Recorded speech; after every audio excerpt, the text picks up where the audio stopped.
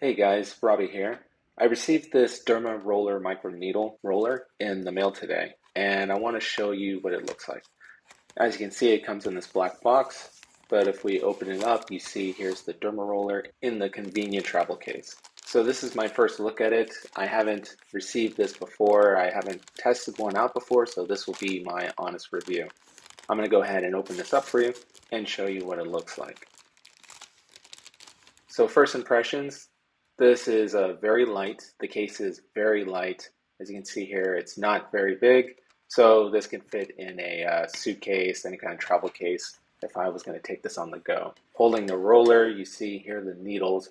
These are a quarter of a millimeter and very tiny. You see there are a lot of little needles right there. I did a little research on this roller before I purchased it, and I understand this can promote hair growth and promote collagen in your skin. This can also help heal any kind of textures like razor burn bumps or any kind of scarring that you might have on your skin.